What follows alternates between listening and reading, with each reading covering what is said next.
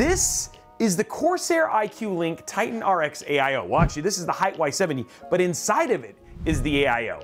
And it's a bit of a punk. It ditches the mainstream and rebels against tradition by doing its own thing, for better or for worse. Now, will this AIO set a new trend, or is this punk all noise? We're gonna find out all about it right here, right now on Robeytech. Corsair is back with another addition to their iCUE Link family, and we've gotta say, when it comes to unified ecosystems, iCUE Link is actually pretty special. In fact, we've done an entire review on it right here. Seriously, if you've spent as much of your life on cable management as I have, anything that reduces that step of the build process, it's a huge bonus. So when Corsair announced that they were releasing an LCD-equipped AIO with their new performance-based RX120 fans and a proprietary pump, we were actually pretty excited about what they could potentially deliver. And then, thanks to Corsair, we got one. And we discovered there were some choices Corsair made, depending on your preferences, that may be a good thing or a bit of a source of frustration. Now, before we get too deep into our opinions and observations, let's get to know the Titan RX just a bit better.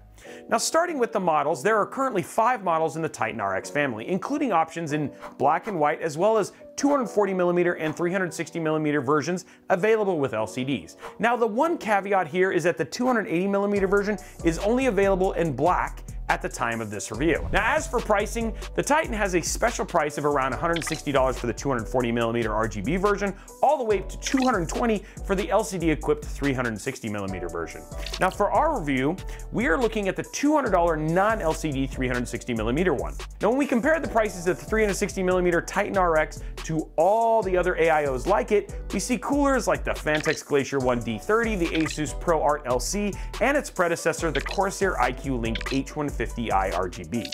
So from a pricing standpoint, the Titan RX is modestly priced when compared with more premium AIOs like the NZXT Kraken, which you can check out right here, or the best of the best that we've tested so far, the Asus ROG Ryujin 3, which again, full review right here. But keep in mind, these numbers are based on MSRP, not sales prices. Now moving on to compatibility, on the Intel side, the Titan supports LGA 1700 and LGA 1851 sockets. On the AMD side, the Titan supports basically AM4 and AM5. All in total, we're looking at support for about 10 generations worth of CPUs. Now those limitations may make more sense when we start looking at the actual mounting hardware for the Titan. Rather than separating out screws and standoffs, Corsair worked them into the mounting brackets themselves.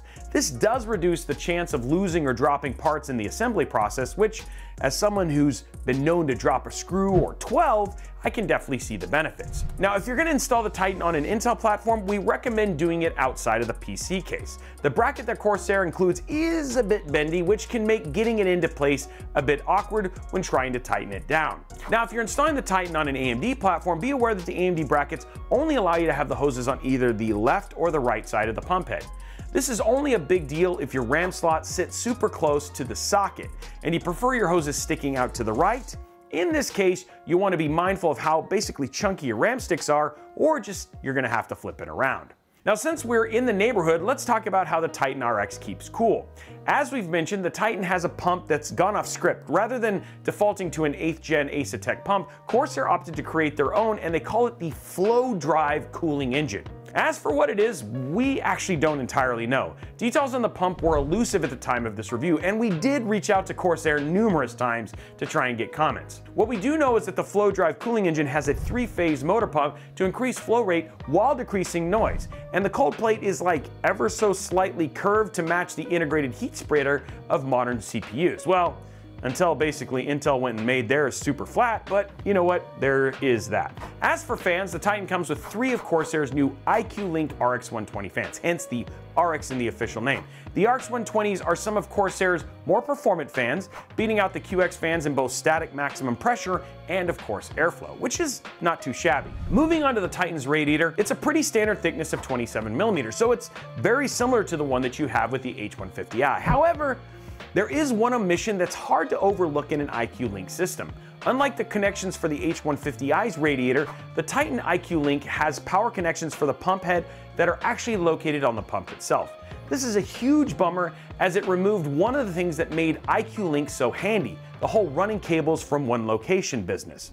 Now moving on to ARGB controls, the Titan uses Corsair's iCUE software. Now if you've never used Corsair's iCUE, it has probably one of the prettier interfaces for fan and RGB control, as well as a host of system monitoring features, but it's iCUE, which means it's buggy and it can crash at times. That being said, it can play nice with other RGB devices like certain motherboards and RAM, but it's not always guaranteed. Now, if you don't like the design of the cap, the Titan is actually compatible with Corsair's line of magnetic cap swap modules, in case you're looking for something a little bit more groovy. The only downside here is that it's pretty easy to knock these caps off, so just be mindful if you have to move your case post-installation. And with that, it's time, guys, to finally talk about testing. And as a reminder, all of our AIO tests are performed in nearly identical Intel and AMD rigs. Notes on the screen for details if you just want to pause and take a look. All this is done under the same conditions to keep the data as clean as absolutely possible. Now we're gonna go through this pretty quickly, so feel free to at any point pause the video if you wanna make some notes. Starting with our Intel metrics, at CPU idle, the Titan averaged around 28 degrees Celsius, which isn't bad for doing nothing, but it sat at the bottom of our charts with AIOs like the Lian Li HydroShift R and TL at 30 and 28 degrees respectively, as well as the Corsair iCUE Link H150i at 28 degrees Celsius. In our CPU loads, the Titan didn't fare much much better. Under load, we saw temperature averages of 85 degrees. It did take a two degree lead over the H150i, but it was still two degrees warmer than AIOs like the Arctic Liquid Freezer Black Asus ProArt LC, and the Lee & Lee HydroShift R. From a power perspective, the Titan remained at the higher end of the charts here with the CPU pulling an average of just over 241 watts. This sandwiched the Titan in between the two Arctic Liquid Freezer AIOs while sinking it to the second highest from power draw. Now, what did that mean from a translation for performance? Well, not so much. In Cinebench, the Titan put our worst score, putting it behind the slightly more efficient HydroShift LCDR. Not a good look here, but the spread of scores isn't entirely entirely huge. However, the gap between the Titan and the rest was noticeably different. Moving on to the 1440p gaming test, the Titan remained titanically immovable from the bottom of our roster with an average of 51 degrees Celsius. This put it in line with the HydroShift LCD-R again, as well as a few degrees cooler than its counterpart from Corsair, the H150i. Now the story is similar when we look at the power draw in gaming as well. The Titan drew an average of just over 98 watts while gaming, putting it 2 watts away from being our least efficient in this test. Now moving on to the AMD bench, the Titan performed okay, but again, we don't have a lot of data here to really offer anything conclusive other than that Titan is adequate. At idle, the Titan held CPU averages of 37 degrees Celsius, just like the Asus ProArt LC. Under load, it was the Titan and Kraken that tied, holding their respective CPUs at an average of 85 degrees Celsius, while the ProArt ran a bit warmer at an average of 87. From a wattage standpoint, the three AIOs held power draw averages of around 144 watts, but out of the three, the Titan was closer to 145, and the Cinebench scores were reflected a similar story with the three AIOs literally less than three points apart. In our 1440p gaming benchmarks, all three of our AMD tested AIOs averaged around 52 degrees Celsius, leaving us with another stalemate. Now the story was similar with the power draw averages during gameplay, all three averaged around 75 to 76 watts, while the Titan actually led the pack at 74.9 watt average. So what does this actually tell us? So on our Intel platform, Titan remained in the bottom four in most of our metrics. When we looked at the broader picture, it was kept out of the bottom by the HydroShift R. On AMD, it was all right too, but not monumentally better or worse than any of the other two AOs we have basically tested here. That being said, the temps we saw while testing were adequate for everyday use. Keep in mind that we're using hotter running CPUs here, and there was never a moment when we felt we were putting our test bench or the AIOs themselves in danger. Like we said with the Kraken, if you're using Ryzen 7000 series or Intel's 13th or 14th gen processors, you're gonna be absolutely golden. And with how cool both Ryzen 9000 and Intel Core Ultra 200S CPUs are running, the Titan should have less of an issue keeping them cool. So when we look at the overall performance, our assessment is a bit on the rough side, but that's not to say that the Titan doesn't function and isn't useful for pretty much any cooling scenario. Okay, so let's look at the relative value before we get too deep into our opinion. We're gonna slap some fancy math up here on the screen. This formula basically gives us a dollars per degree of cooling value with lower scores of course being better. With a relative value score of 13.3, the Corsair iCUE Link Titan 360 basically falls into the middle of the pack with AIOs like the Tryx Panorama ARGB and the Asus ProArt LC360. While this isn't a terrible score for the Titan, there are a couple things to keep in mind here. First, this is one metric and it tells a story. And the story here is that if all you were going to consider was cooling, there are several AIOs that are better value. The Titan did achieve one thing that it set out to do. It beat the Corsair iCUE Link H150i in value. That is, if prices here are MSRP and if cooling is your main focus. So with all that in mind, would we recommend Corsair's iCUE Link Titan 360 RX RGB as your next AIO? There's kind of a lot to unpack here with our answer. Overall, the Titan is not bad, but it's not exactly great either. If you're looking for a strong performing AIO for heavy CPU workloads, the Titan may not be the best fit for you, especially if you're using something like a 14900K/KS or a 7950X. While it does keep the CPU away from TjMax, there were just a number of AIOs that did the job better and sometimes at a much cheaper price if that value is important to you. On the other hand, if gaming is your priority here and you don't need something to be a whole lot cooler or more intense, the Titan is more than good at getting the job done. While it was on the warmer side of our charts, our test CPU stayed pretty cool overall. Now cooling is one thing, and don't get me wrong, it's a big thing at that, but I imagine if you're here looking at an iCUE Link AIO, you want it for that clean iCUE Link aesthetic. Rather than taking a cue from the H150i and making the radiator serve as like the central connecting point for the radiator fans and the pump head, the Titan separates them. You have to connect an iCUE Link cable to the pump forcing PC builders to decide whether they want their pump connector to go straight to a hub, to the back, or hanging out in the case and linked to the radiator fans. In the end, it made us ask, is the iCUE Link Titan actually helping us with clean cabling?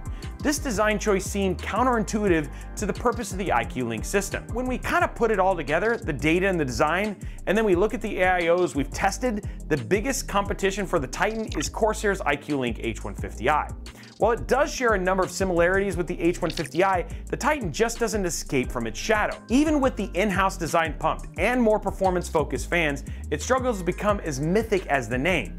To be frank, there are just some things that the H150i does better, and with it being slightly older of an AIO, we've seen the price dip to be far more competitive than the Titan. It's kind of up to you to decide which design you like better. If this kind of performance matches what you need and the changes don't bother you as much as they bothered us, then feel free to go ahead and pick it up. Listen, I know we're being really critical of the Titan, but understand this is why we're testing these things. We want to help you make the best decision for you. And if you're in love with everything about it, then hey, I'm glad we helped you understand it a whole lot better. At the end of the day, the Titan does what it's supposed to do. It keeps the CPU cool. Its performance was comparable to the H150i, and we even saw a few places where it did outperform it in thermals. Is it the best AIO we've ever seen? Not really, but Corsair took a gamble on designing their own pump, and we've got to give them some props for taking risks. Change doesn't happen without them, and while this risk may not have the impact Corsair was hoping for, at least from what we can see, this doesn't mean that it won't inspire other changes down the line. So those were our thoughts on Corsair's iCUE Link Titan RX RGB AIO. But we want to know what you think. Were the changes to the Titan's RX iCUE Link system a big deal to you? Also, what features are priorities for you when you're buying a new AIO? You know what? I'm just telling you down in the comments, it's gonna be like cooling, price.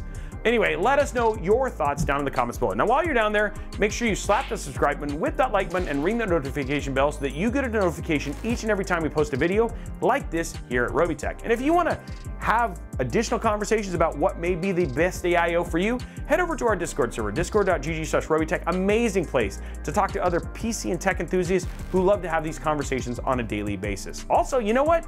You might just make a friend. Follow us on all the other socials at Robeytech, absolutely everywhere. Thank you so much for watching this video, and we look forward to seeing you on the next one.